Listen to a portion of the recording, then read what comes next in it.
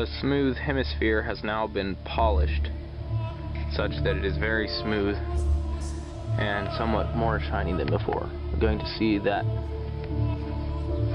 and its effects on drag.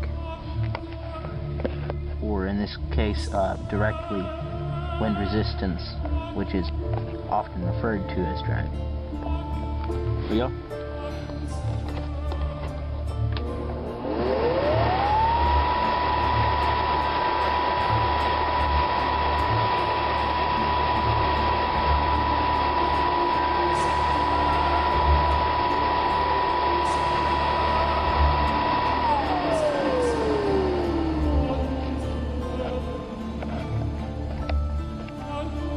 I would say conclusively there were no substantial effects at this Reynolds number.